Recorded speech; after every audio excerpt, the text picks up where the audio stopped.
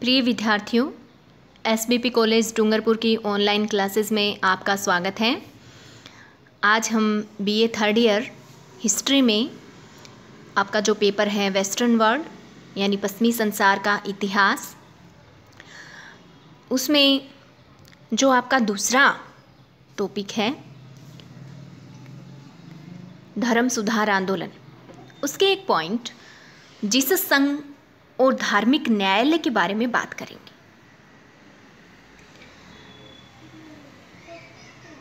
तो सबसे पहले जीसस संघ के बारे में हम बात करते हैं। जीसस संघ जो है वो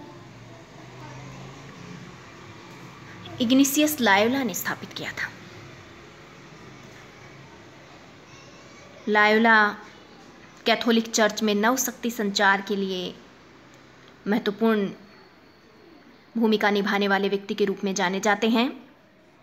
इनका समय चौदह सौ इक्यानवे ईस्वी से पंद्रह सौ छप्पन ईस्वी तक रहा। स्पेन निवासी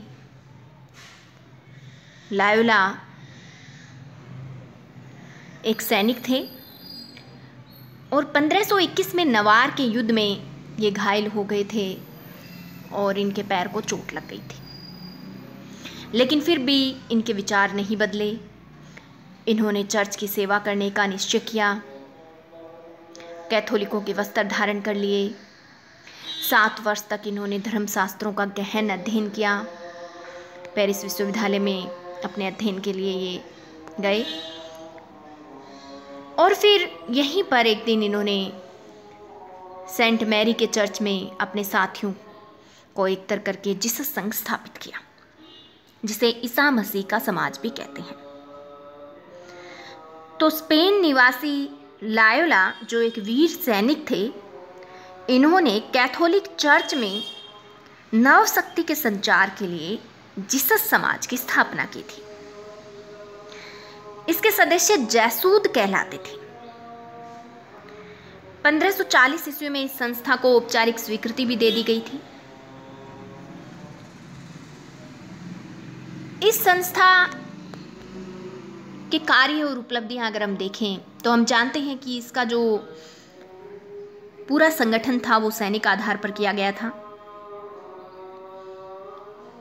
इसके सदस्य निस्वार्थ सेवक के रूप में काम करते थे।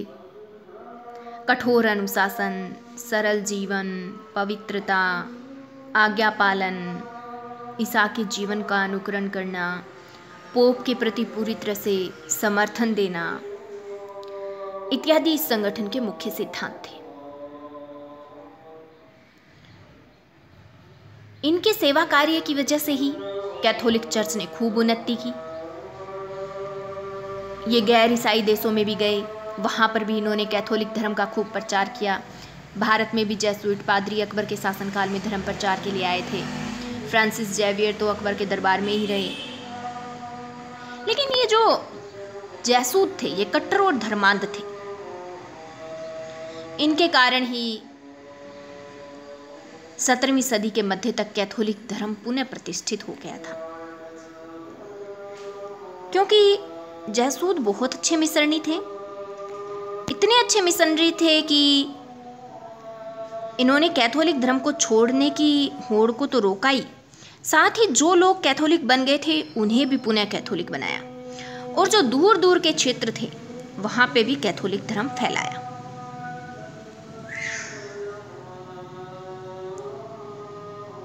अब हम बात करते हैं कैथोलिक चर्च में ही अनुशासन स्थापित करने के लिए जो धार्मिक न्यायालय थे, यानी इनक्विजिशन के बारे में। लगातार जब प्रोटेस्टेंट धर्म का प्रसार हो रहा था तो उसकी प्रगति को रोकने के लिए धार्मिक न्यायालय विभिन्न देशों में स्थापित किए गए।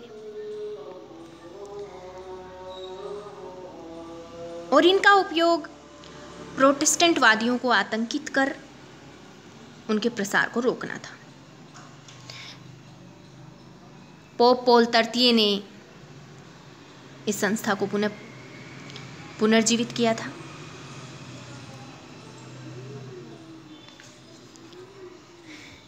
यह संस्था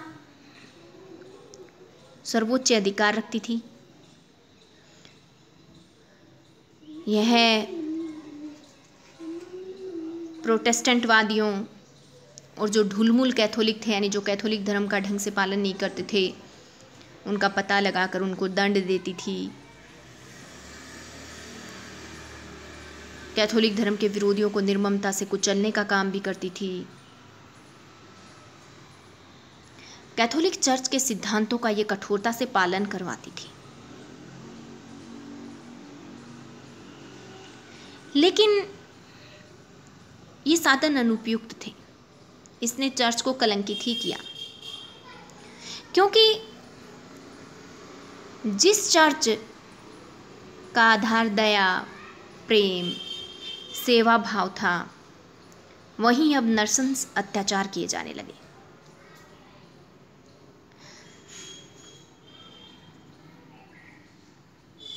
ये जो चित्र हम देख रहे हैं धार्मिक न्यायालय का, ज़रूर इन न्यायालयों ने कैथोलिक धर्म को पुनः स्थापित करने की दिशा में महत्वपूर्ण कार्य किया, लेकिन साथ ही इन्होंने असहिष्णुता का प्रमाण भी दिया। और इन्होंने